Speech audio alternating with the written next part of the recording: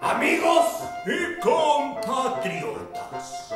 No me ganaréis. César ha muerto. Tristemente. Los Caballeros de Aristófanes es una de las obras más comprometidas que hizo el autor, porque le daba un repaso a un político de la época, que era Cleón, un populista, con el que no estaba de acuerdo.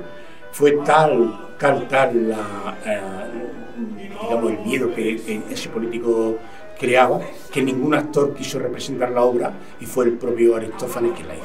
Amaba a todos. A todos los hombres del pueblo. Y luchó por vosotros. Pero Cleopatra. Hay un viejecito que es Demos, que tiene un criado, que es Paflagonio, que ha cogido el poder y maltrata a todos los demás criados. A partir de ahí eh, se desarrolla una lucha, entre, una lucha de poder entre Paflagonio, un bendito nombre, y el, sustituto, que es un murcillero.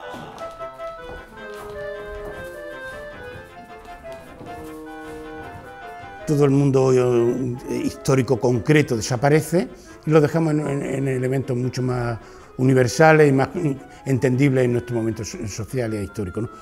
Es una obra muy divertida, muy crítica con, bueno, con, la política como, una manera de engaño.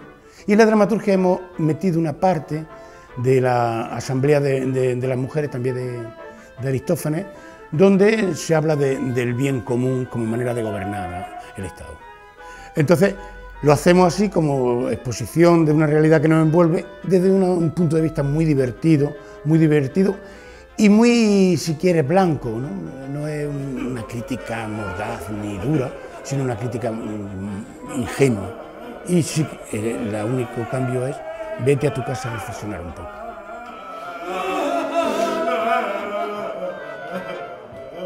Es la primera vez que participamos en los espacios y es la primera vez, pero por otra parte es un placer porque verse eh, en esos espacios históricos donde sabes que de alguna manera allí han maltratado a los actores también, es maravilloso y ver el público por otra parte, todo cómo, cómo está diseñado los teatros romanos es impresionante. ¿no?